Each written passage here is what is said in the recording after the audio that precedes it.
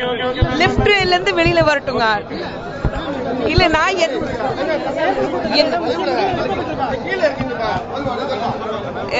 என்னால ஒன்னும் சொல்ல முடியாது. தலைவர் கீழே வருவாரு முல்- முகுல் வாஸ்னிக் சார் கீழே வருவாரு அவங்க ரெண்டு பேரும் பேசுவாங்க. என்னங்க? டெல்லி தேர்தல் பிரச்சாரம் வந்து அஞ்சு நாளுக்கு இருந்தது. அஞ்சு நாள் வந்து டெல்லியில இருந்தது. ஒரு கிட்டத்தட்ட பதினொன்று கான்ஸ்டிடுவன்சிஸ் கவர் பண்ணேன்.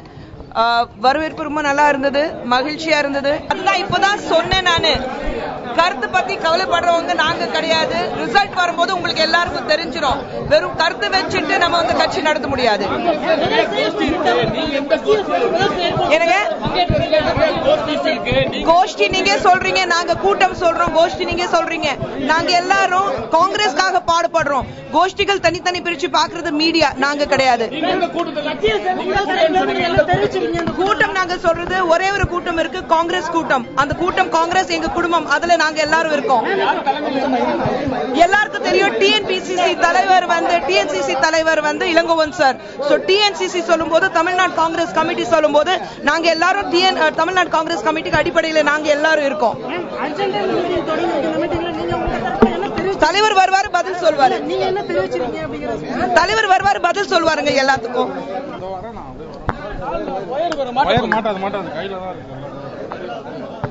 ஒரு நிமிஷம் சார். அப்படியே வாங்க ஜி. அப்படியே அப்படியே இருங்க. வாங்க அப்படி ஃப்ரீயா அப்படி வெளியே வந்து கேட்டுங்க. சார். சார் அப்படியே ஃப்ரெண்ட்ல படிக்கட்டு படிக்கட்டு பார்த்து நான் தலாம் இல்ல தள்ளுங்க. அப்படியே சார் சார் அப்படியே நான் ஒன்றும் சொல்றது ஒன்றும் இல்லைங்க. செயற்குழு நடந்தது சிறப்பாக நடந்தது செயற்குழு. முதன்முறையாக செயற்குழு கூட்டம் நடந்தது. அது மிகவும் சிறப்பாக நடந்தது. அதற்காக கலந்து கொண்ட அனைவருக்கும் நன்றியை தெரிவித்துக் கொள்கிறேன். இந்த கூட்டம் அடிக்கடி நடைபெற வேண்டும். கட்சிக்குள்ளே க- கருத்து பரிமாறல் அடிக்கடி நடைபெற வேண்டும். அதற்கு இது ஒரு நல்ல முயற்சி. அதற்காக என்னுடைய வாழ்த்துக்களையும் நன்றியும் தெரிவித்துக் கொள்கிறேன். அதான் இன்னைக்கு முகுல் வாஷிக் அகில இந்திய காங்கிரஸ் கமிட்டியின் பொதுச் செயலாளர் முகுல் வாஷிக்கும் சென்னாரெட்டியும் இன்றைக்கு நடந்த காங்கிரஸ் செயற்குழு கூட்டத்தில் கலந்து கொண்டார்கள். இந்த கூட்டத்தை பொறுத்தவரையில் நாங்கள் முடிவெடுத்த விஷயங்கள் மெம்பர்ஷிப் உறுப்பினர் சேர்க்கையை தீவிரப்படுத்துவது மார்ச் முதல் வாரத்திற்குள் முடிப்பது என்ற முடிவு எடுக்கப்பட்டது. அதோடு மட்டுமல்ல அதோடு மட்டுமல்ல விவசாய மக்களையும் ஏழை எளிய மக்களையும் பாதிக்கின்ற வகையில் இன்றைக்கு சில சட்டங்களை அவசர சட்டங்களாக மத்திய அரசாங்கம் அறிவித்திருக்கின்றது. மோடி அறிவித்திருக்கின்றார். குறிப்பாக நிலம் ஆர்ஜிதப்படுத்துவதை பற்றிய ஒரு அவசர சட்டத்தை கொண்டு வந்திருக்கின்றார்கள். அந்த சட்டத்தில் காங்கிரஸ் அதே சட்டத்தை கொண்டு வந்தபோது என்னென்ன ஷரத்துக்களில் விவசாயிகளுக்கு நல்ல காரியங்கள் செய்ய வேண்டும் என்று விவசாயிகளுக்கு சாதகமான பல அம்சங்களை சேர்த்திருந்தார்கள். அதையெல்லாம் இன்றைக்கு மோடி அரசாங்கம் நீக்கி இருக்கின்றது ஆகவே இதை எதிர்த்து தமிழகம் முழுவதும் தமிழ்நாடு காங்கிரஸ் கமிட்டி மிகப்பெரிய போராட்டத்தை மாவட்ட தலைநகரங்களில் விரைவில் நடத்தும். அதற்கான தேதி அறிவிக்கப்படும். சட்டசபை தேர்தல் குறித்தும் விவாதிக்கப்பட்டது.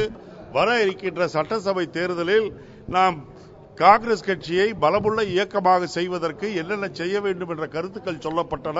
அந்த கருத்துக்களை எல்லாம் ஏற்றுக்கொண்டு எங்களுடைய நடவடிக்கைகள் அதை நோக்கி அமையும்.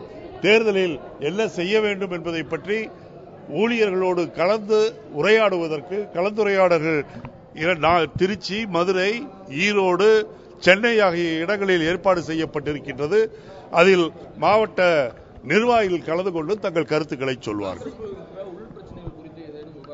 இல்லை கண்டிப்பாக காங்கிரஸில் காங்கிரஸில் உள் பிரச்சனைகள் இப்போது கிடையாது. ஆகவே அதை பற்றி பேச்சு எழவில்லை.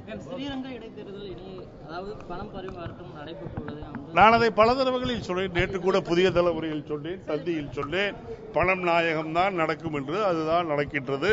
ஐயாயிரம் ரூபாய் வரை வாக்காளர்கள் கொடுத்திருக்கின்றார்கள். அதை எல்லோரும் ஒத்துக்கொள்கின்றார்கள்?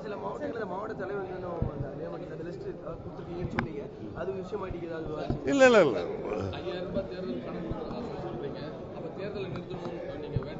தேர்தலை நிறுத்த வேண்டும் என்று நான் வேண்டுகோள் என்பதை விட கொடுப்பவர்களையும் வாங்குபவர்களையும் கைது செய்து இரண்டாண்டு காலம் சிறையில் அடைக்க வேண்டும் என்று மோடி சொல்லி வருவதை அவசர சட்டமாக நாளைக்கே அறிவிக்க வேண்டும் என்று கேட்கின்றேன்.